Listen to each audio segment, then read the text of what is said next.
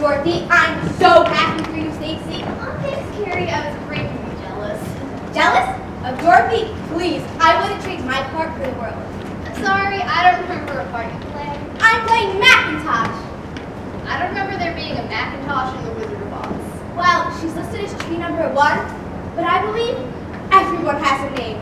No one goes through life as girl number two or person 47. Uh, so you gave him a name. Her! McIntosh is her. And I didn't just give her a name. I discovered it.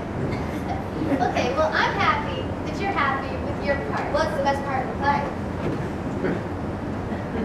Let's be real. Tree number one, not essential to the plot. Not essential to the plot, to even read the script. I am the first time Dorothy and Scarecrow face the team when they meet me. Dorothy is hungry, starving, and my apples are her last hope.